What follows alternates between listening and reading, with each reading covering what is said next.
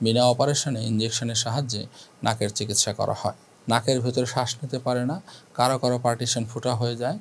আসলে তারা তো নাকের কোনো ধরনের অ্যানাটমি জানে না, নাকের স্ট্রাকচার জানে না, যেহেতু তাদের পুঁথিগত কোনো জ্ঞান নেই। আসসালামু আলাইকুম রহমতুল্লাহি ওয়াবারাকাতুহ।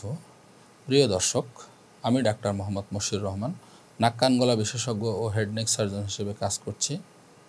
সহযোগী অধ্যাপক ও বিভাগীয় প্রধান হিসেবে বসুন্ধরা আদ্দিন মেডিকেল কলেজে কর্মরত আছে এবং খিদমা হাসপাতাল খেলগাঁও, ঢাকাতে নিয়মিত চেম্বার করছে। প্রিয় দর্শক, আজকে আমরা আলোচনা করব নাকের অপচিকিৎসা সম্পর্কে। সারা বাংলাদেশের প্রতিটি গ্রামে, গঞ্জে, শহরে, বন্দরে এবং ঢাকা শহরের অলিতে গলিতে একটি জিনিস আপনারা লক্ষ্য করেছেন সেটি হলো নাকের মাংস বৃদ্ধি পলিপাস এরকম একটা সাইনবোর্ড থাকে। এবং সেখানে লেখা থাকে, বিনা অপারেশনে ইঞ্জেকশনের সাহায্যে নাকের চিকিৎসা করা হয়। তাহারা আসলে কি কাজ করে? তারা নাকের মাংসকে ইঞ্জেকশন দিয়ে পুড়িয়ে দেয়। রোগীদের ভাষ্যমতে এতে করে অনেক রোগী আরোগ্য লাভ করে।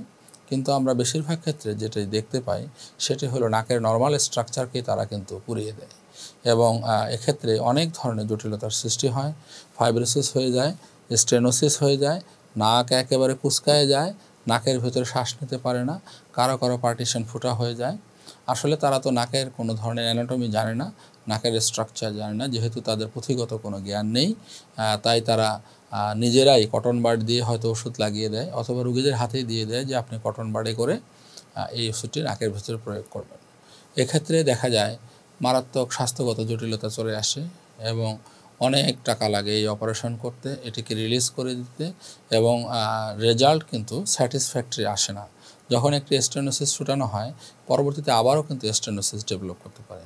তাই তাদের চটকদার বিজ্ঞাপন, কম দামে চিকিৎসা, সস্তা চিকিৎসা এবং অপচিকিৎসা এবং হাতুড়ি চিকিৎসা থেকে আমরা নিজেরা বিরত থাকব এবং আমাদের পরিবারস্থ লোকজনকে এবং আশেপাশের লোকজনকে তাদের চিকিৎসা নেয়া থেকে বিরত থাকার জন্য সবিনয় অনুরোধ করব।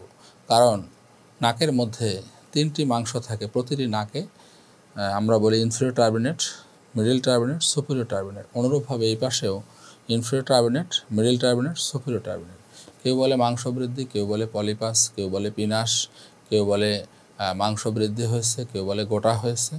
তো এগুলো আসলে চিকিৎসা কখন লাগবে আর কখন লাগবে না এ ব্যাপারে একজন বিশেষজ্ঞ নাক কান গলা চিকিৎসকই সঠিক সিদ্ধান্ত গ্রহণ করবেন।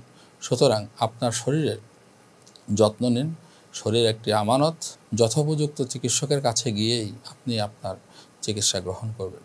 ভালো থাকুন, সুস্থ থাকুন। আল্লাহ হাফিজ।